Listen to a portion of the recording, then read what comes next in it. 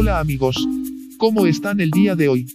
Yo soy Sebas por si no me conoces, y si ya me conoces, pues, hola de nuevo. Como vieron en el título del video, hoy te voy a enseñar a hacer un helado súper delicioso. Les voy a contar algo.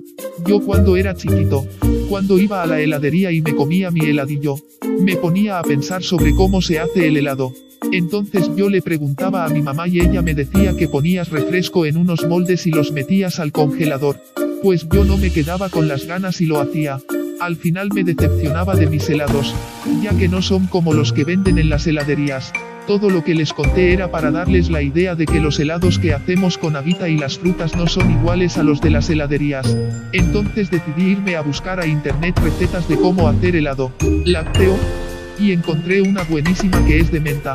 Espero que les guste. Y empecemos con el tutorial. Para hacerlo vamos a necesitar dos tazas de crema de leche, una taza de leche condensada, una taza de virutas de chocolate y media taza de saborizante de menta. ¿Verdad que son poquitas cosas? Amigos, les quería decir que yo usé saborizante de menta porque es mi sabor favorito, pero tú puedes usar el que quieras. Vamos a empezar por colocar los ingredientes en la batidora.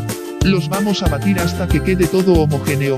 Si no tienes una batidora, también lo puedes hacer con un batidor de globo. Ahora vamos a poner la mezcla en un molde y lo vamos a meter al congelador por unas horas. Yo lo puse dos horas. Y ya por último vamos a sacar bolitas de helado con esa cosilla que se usa para sacar el helado. Si no lo tienes, puedes usar un cucharón grande y te quedará igualito. Y listo.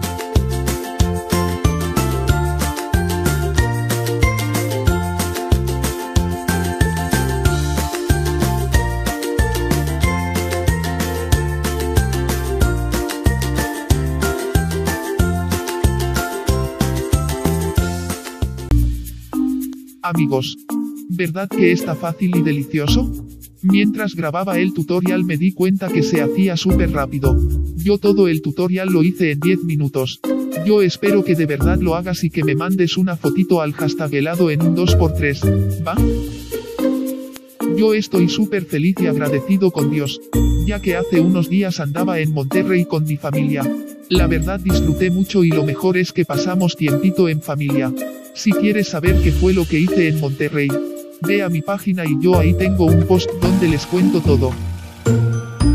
Otra cosita que me haría feliz, es que me sigas en todas mis redes sociales.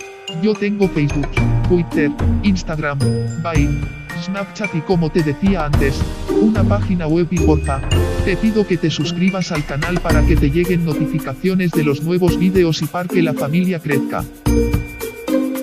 Gracias por estar siempre conmigo. Yo sé que últimamente al final de los vídeos les digo lo mismo, pero nunca me canso de agradecerles, ya que ustedes me acompañan a todos los lados que voy y siempre están conmigo. Gracias. Y esto ha sido todo por hoy. Espero que te haya gustado el video. Nos vemos el próximo domingo. Bye bye.